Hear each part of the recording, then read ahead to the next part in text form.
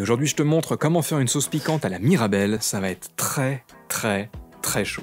La resta de la recette, ce sont ces piments habanero entre 100 000 et 400 000 sur l'échelle de Scoville. Ah oui, ça pique Mais avec son goût citronné caractéristique, il va apporter fruité et fraîcheur. C'est la saison des mirabelles et avec leurs douces notes sucrées, ça va bien contrebalancer le fuego du piment. On fait toaster des graines de cumin et de coriandre et quand ça sent super bon, on moue tout ça finement.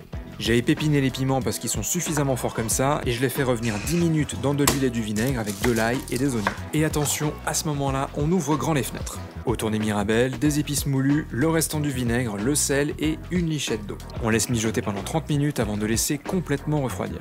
Dans le bol du mixeur, avec du jus de citron vert pour la fraîcheur et directement dans des jolies petites bouteilles, regardez-moi cette merveille. Ça sera parfait avec du poulet frit ou en topping sur des œufs au plat, mais le coquin combo, c'est cette crème choco. Bon, quel nom on lui donne maintenant? Fais-moi tes suggestions en commentaire et abonne-toi.